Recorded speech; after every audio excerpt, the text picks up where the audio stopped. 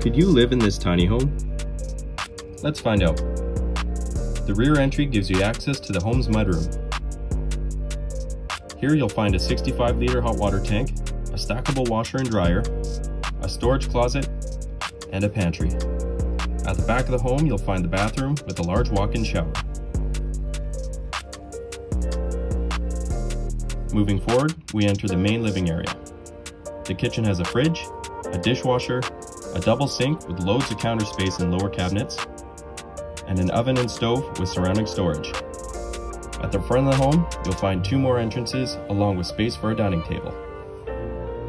And finally, upstairs is the massive 12 foot 2 by 7 foot 6 loft space.